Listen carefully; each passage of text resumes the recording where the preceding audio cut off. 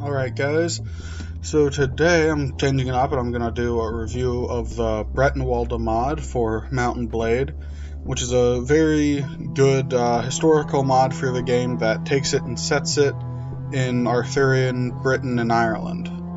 All seem fairly accurate.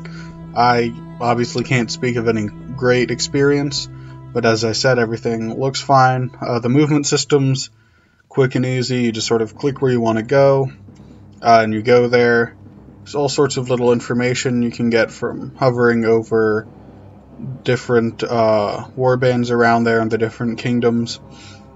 So the game at face value, uh, everything's easy to use, and uh, the graphics are pretty good. I mean, they're nothing compared to you know a, a super new next gen console or anything, but they're certainly more than functional and what and it certainly makes up for it by just taking all that space from graphics and putting it into something a little you know more into the game more features more things you can do. It's just uh, generally pretty good. So here i'm going through and micromanaging my party. Uh, you can do that. It'll tell you when people level up. You do the same thing for your character but i'm going to go through this guy here, and it does all sorts of skills you you could want without putting too much emphasis. You know, if you forgot to put a bunch of skills in riding or whatever, it's not going to hurt your game, and nothing nothing seems too you know anachronistic or anything. Everything works, everything's functional, and there are differences between day and night, which I think should come up any second now. See, now that it's daytime I can see everyone better, they can see me, and I'm gonna have to run away and hide in a castle from these guys, because I would get creamed with how much bigger their armies are. But I'm just going to sort of jump around and show the interesting bits, rather than having a, a true Let's Play. Sailed up to the coast of Britain, or possibly Scotland, I don't know where the, the modern lines would be. You know, northern Britain, southern Scotland. Is, uh, my kingdom has recently declared war on one of the kingdoms around here. So this gets to show a little bit of the other map, and it's it's not walled off. You know, at any point you can freely travel between kingdoms and all sorts of stuff. That little pop up you see a bit happens every once in a while. They'll give you information about uh, you know, just diplomatic information. You know what kingdoms are doing.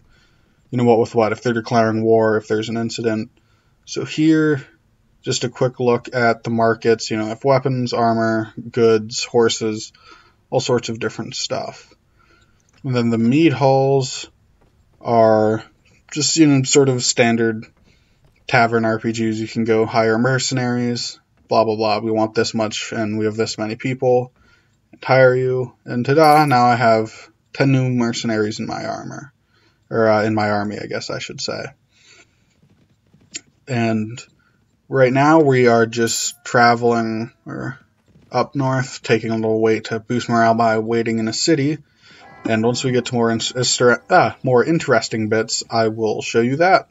So the combat is what'll really make or break a game, especially one like this, based on you know sort of war bands and that sort of activity.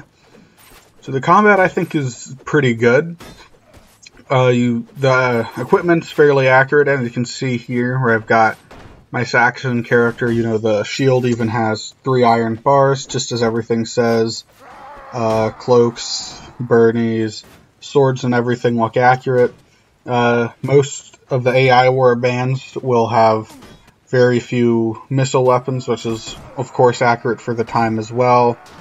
I mean, you can do whatever with yours and just hire only archers if you want. I can't imagine you doing all that well, but you get the idea. Uh, there's throwing weapons, so here my character's using some Franciscas. And the only complaint I really would have is spears are underused. We know spears were probably the most common battlefield weapon for the time, but uh, the AI is really stingy about using spears, uh, just because in you know, if somebody with a, you know, sword runs up to a guy with a spear, the guy with the sword wins. Uh, when a formation of spears would beat a formation of swords. But the AI just isn't programmed that way. So there's not a lot of spears on the battlefield. That's really the only complaint I would have about uh, the the battlefield and the combat mechanics. There's a stamina feature which I have disabled.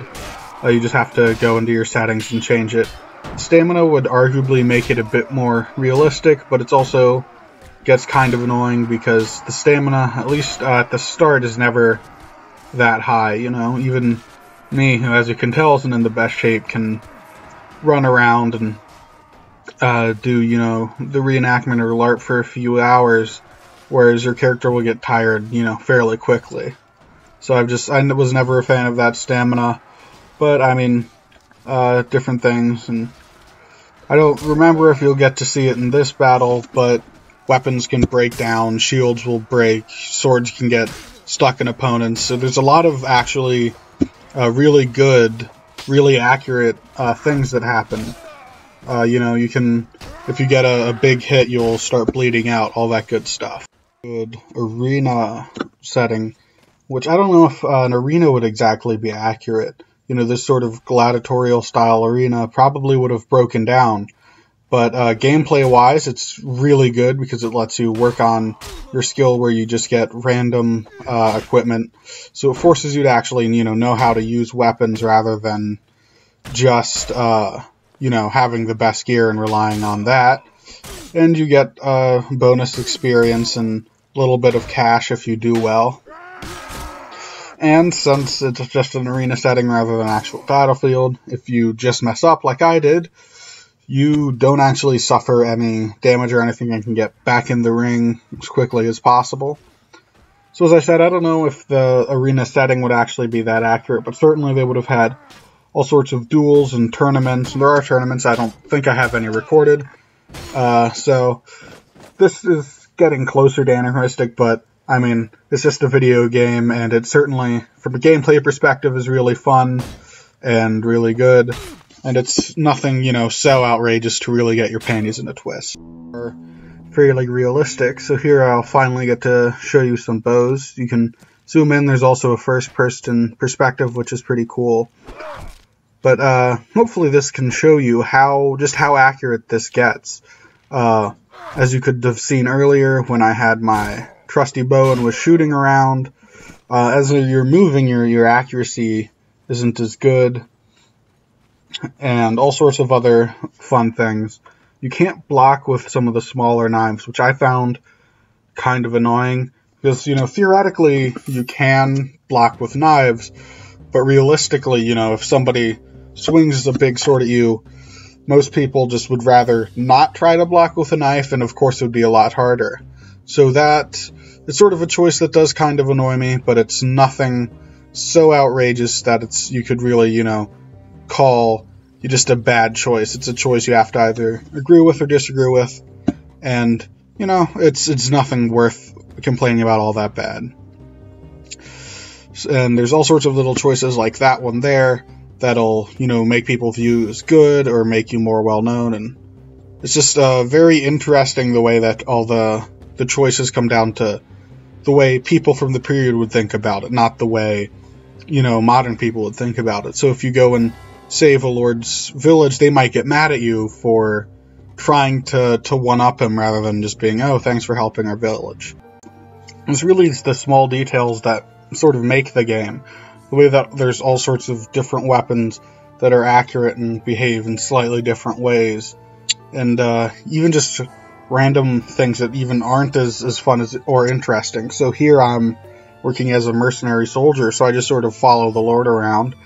But it's a quick way to, to gain experience and get new equipment and rep, get a reputation.